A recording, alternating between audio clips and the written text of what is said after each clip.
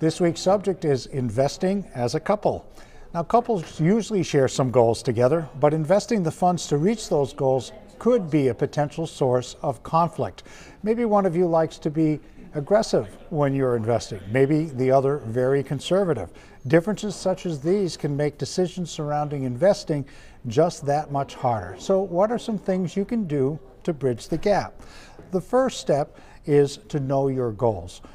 Having specific goals that you both agree on as to where the money is going to invest, be invested and why it's being invested is the number one thing to start with. So, discuss things like what are your priorities and do both of you agree? Coming to an agreement can greatly simplify the process of deciding how to invest your money to get there. Knowing how and why the money is invested can help minimize marital issues if an investment choice just doesn't work out you certainly don't want to blame something on the other one.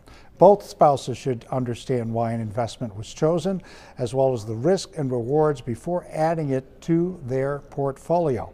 Keep in mind that even if one of you is conservative and the other is more aggressive, a portfolio does have room for both types of investments.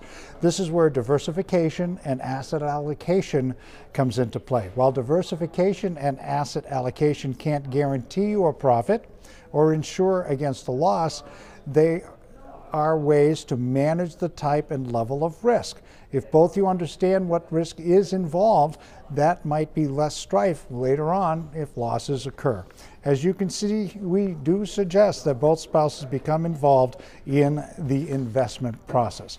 Now, you may also want to come to terms with your differences in investment style. One may be conservative, one may be aggressive talking this through and getting an understanding of what you're investing in continues to be critical.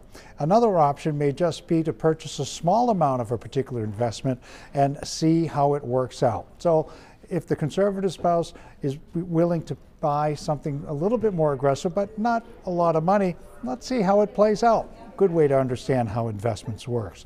Now, there are steps the aggressive investor can do to help more conservative partners. The first is to listen to the concerns of your spouse. Maybe more information may help bridge the gap. Make sure the pitfalls of an investment are not concealed. Trust is key here. Look for ways to reduce the risk involved of the portfolio and make changes gradually. A final option may be to get an outside party in. A good certified financial planner can certainly help discuss the risk, discuss the differences, and make some recommendations that could work for both of you.